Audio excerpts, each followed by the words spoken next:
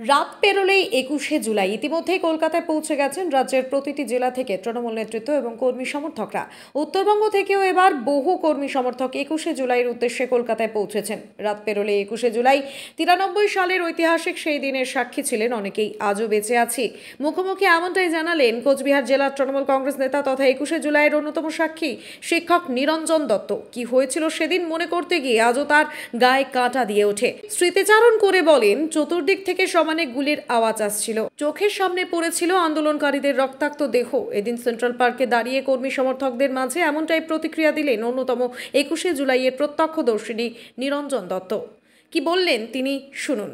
Ninety থ্রিতে উনিশশো তিরানব্বই সালে মমতা ব্যানার্জি সর্বপ্রথম ভারতবর্ষের বুকে আওয়াজ তুলেছিলেন যে নো আইডেন্টিটি নো ভোট সেই আন্দোলন করতে গিয়ে তিরানব্বই সনে তেরো জন আমাদের তৃণমূল কংগ্রেসের কর্মী, তদানীন্তন মুখ্যমন্ত্রী নির্দেশে গুলি করে নৃশংসভাবে হত্যা করে। নিবেদন করার জন্য প্রতি বছর আমরা ধর্মতলায় শহীদদের প্রতি শ্রদ্ধা জানানোর জন্য আমাদের ঐতিহাসিক সমাবেশ হয়।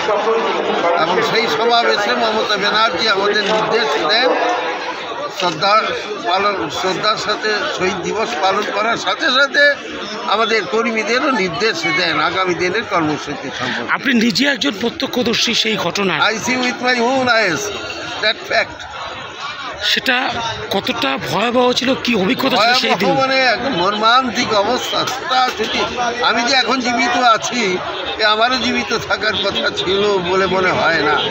নির্বিচার এগুলি চালিয়েছে। আমরা প্রত্যক্ষ ধরছি এবং দৌড়াদৌড়ি, ছোটাছুটি, গোটা কলকাতা সেই দিন অচল হয়ে গেছে কতটা এখনও মনে পড়ে সেই দিনের স্মৃতি? এখনও পুরা মনে পড়ে। এখনও বিভৎস অবস্থা শরীরের রোম দাঁড়িয়ে পড়ে সেই কথা মনে হইলে। সেই দৃশ্য যদি চোখের সামনে মনে হয় যে এখনও সেই দৃশ্য দেখতে পাচ্ছি। সেই ভয়াবহ অবস্থা দৌড়া দৌড়ি ছোটাছুটি, বন্দুকের আওয়াজ, গুলির আওয়াজ, মৃতদেহ পড়ে রয়েছে রাস্তায়। সেই দৃশ্য এখনও শরীর শিউরে উঠে এখন।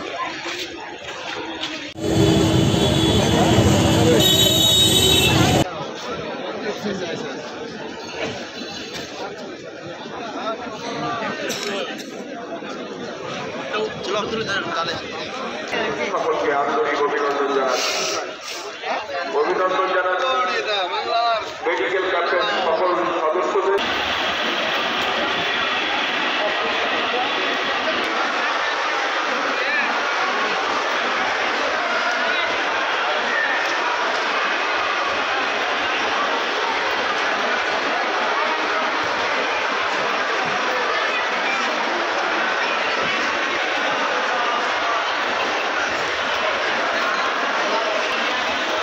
সাত নাম্বার হ্যাঙ্গার ভিতরে চলে এসো।